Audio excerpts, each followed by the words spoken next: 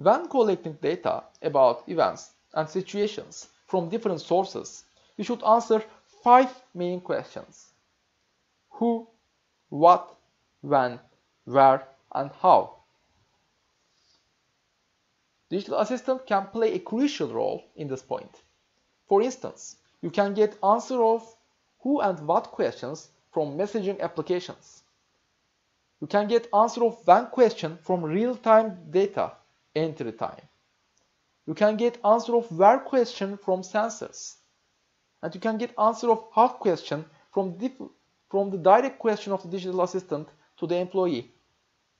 Combining all those different data entries, digital assistant can create complete data map of, of the project in the background.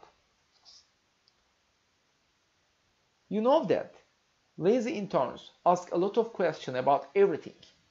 Generally, seniors don't like to answer these questions. So, digital assistant shouldn't be like a lazy intern. That's why the goal is to have all the answers by asking the minimum question to the user.